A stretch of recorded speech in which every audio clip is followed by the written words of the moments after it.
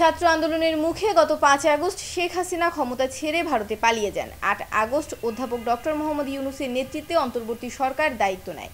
এরপর বাংলাদেশের রাজনৈতিক, অর্থনৈতিক, প্রশাসনিক নির্বাচন ব্যবস্থা, দুর্নীতি প্রতিরোধ সহ নানা ক্ষেত্রে সংস্কারের উদ্যোগ নিয়েছে সরকার। তবে সংস্কার কর্মসূচি বাস্তবায়নে রাজনৈতিক ঐক্যমত প্রয়োজন। তা না হলে এসব পরিকল্পনা বাস্তবায়ন সহজ হবে না বলে মনে করছে ব্রাসেল ভিত্তিক অলাভজনক সংস্থা আন্তর্জাতিক ক্রাইসিস গ্রুপ আইসিজি বৃহস্পতিবার রাতে অন্তর্বর্তী সরকারের একশো দিন উপলক্ষে a new era in Bangladesh, the first hundred days of reform শীর্ষক প্রতিবেদন প্রকাশ করেছে সংস্থাটি।